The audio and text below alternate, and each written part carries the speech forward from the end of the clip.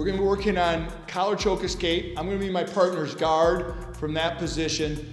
So partner's down, gonna have me in a closed guard position.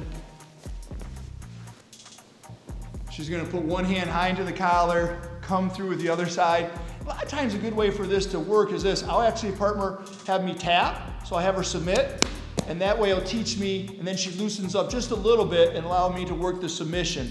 So her right hand's on top and that's key. So I'm gonna take my right hand and I wanna go between her arms, but I can't go short. I gotta drive all the way through and then I'm gonna pull that hand back up to cup the back of my neck. And here's the key that a lot of people don't follow up on is when my partner does her, her submission and I go to defend, I've exposed my back. So as I tuck down here, she can release that choke, start to climb around. Now I'm in even worse trouble.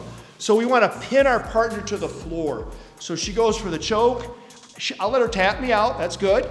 And then she loosens up a little bit. And then with this free hand, I'm going to grab her belt. Whatever she has, I'm going to pin that down. So when she tries to climb around, she's stuck to the floor and I don't get into a worse position.